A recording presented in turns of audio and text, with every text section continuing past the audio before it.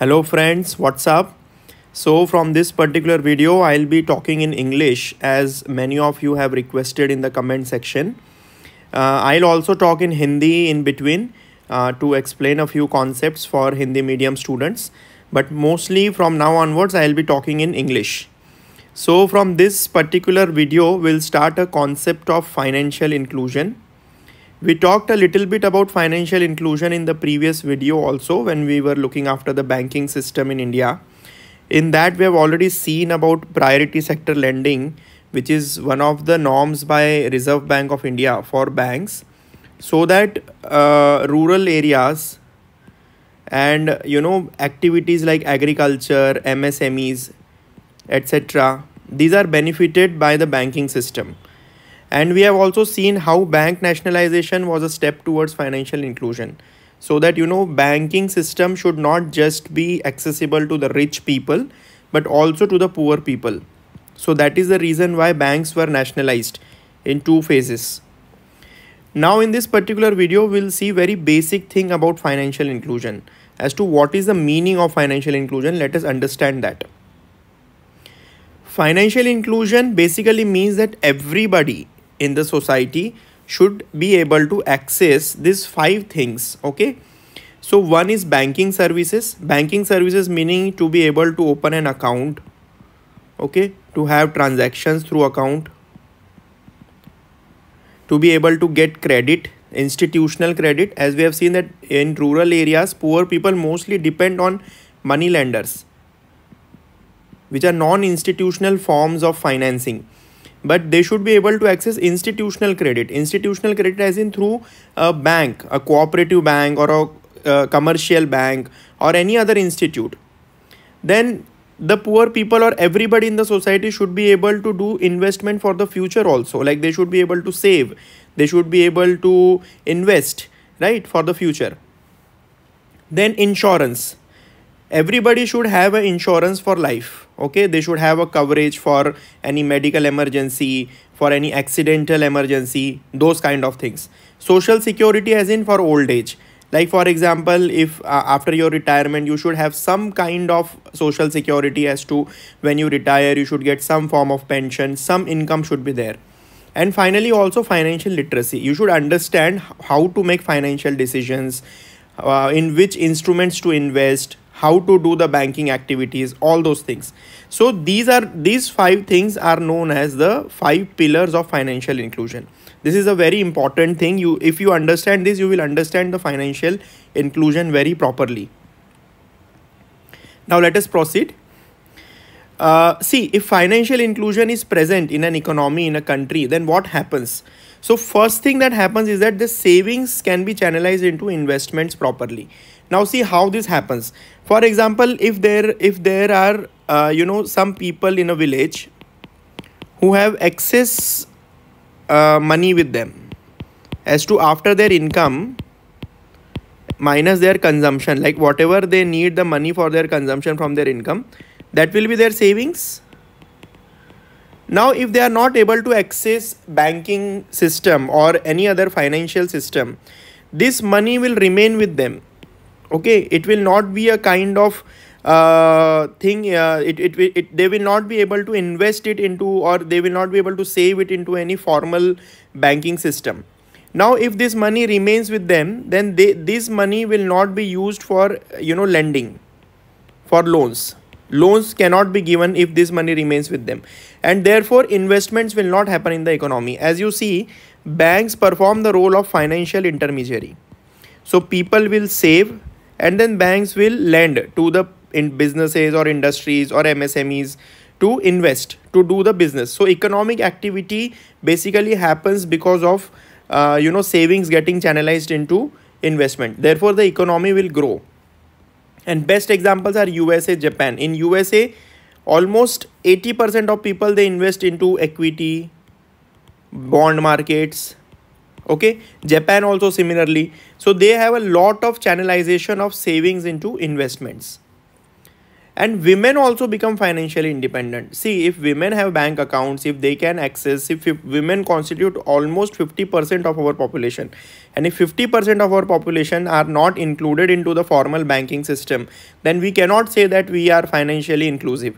So financially inclusion means women should also become a member of the financial system. They should be able to access all these five things okay? All these five things and in a way they will become financially independent. They will know how much to save when to withdraw the money how to invest when to invest and they can also have some form of social security for their old age.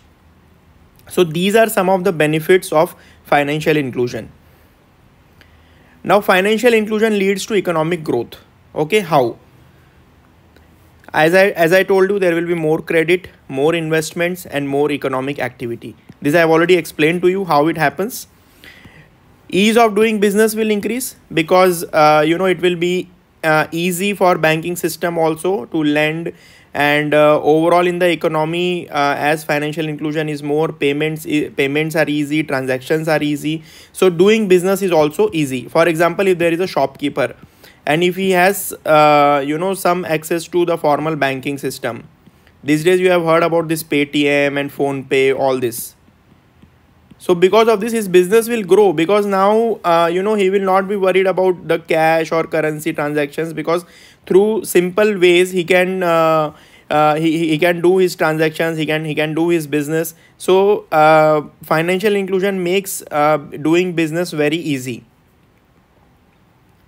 Poor people become participants of formal banking system formal banking industry. Poor people become a part of that definitely. And therefore what happens? More and more uh, uh, more and more savings get channelized into investments. And poor people are also able to access new and new instruments like insurance. So insurance business also grows right? Uh, then social security investments happen. And all this money gets channelized into some form of investment in the economy and better monetary policy transmission also. As we had seen in the previous lecture that if there is non-institutional financing, if there is non-institutional financing, then monetary policy transmission is low, MPT is low because non-institutional financing meaning money lender they don't really follow RBI policy so if the RBI increases the interest rate or if it cuts the interest rates then monetary policy transmission won't happen properly because this non-institutional financing will anyways take place.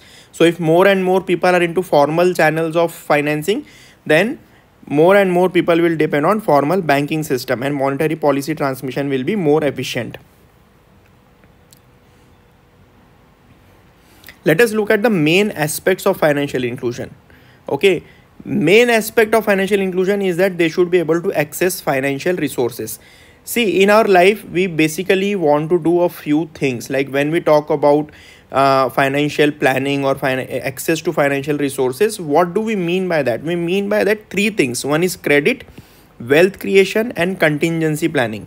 Okay in credit we should be able to access emergency loan uh, for example if there is any accident if there is any medical emergency anything happens then we should be able to access loans. Education loan also. Then consumer loans okay you want to purchase something like vehicle or anything you should be able to obtain those kind of loans. You should be able to get uh, loans. Then housing loans if you want to construct a new new house you should be able to access loans livelihood loans for example if you want to do some business if uh, women want to start some new business they should be able to get livelihood loans at affordable rates so that you will be able to afford those loans.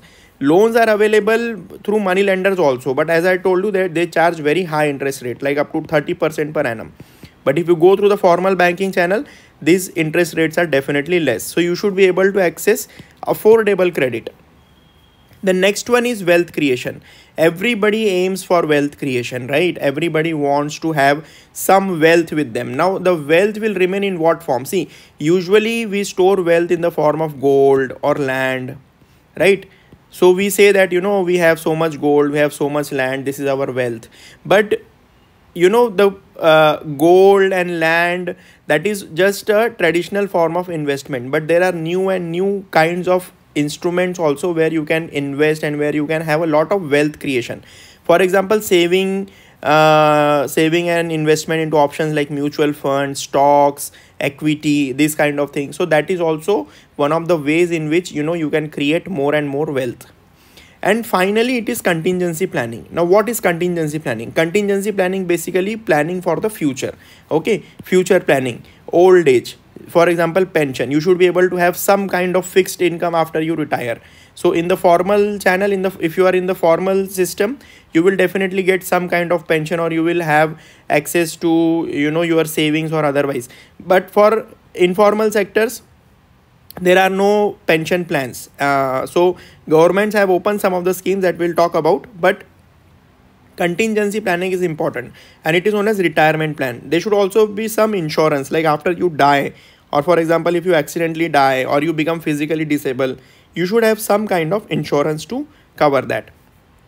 So these are basically the main aspects of financial inclusion.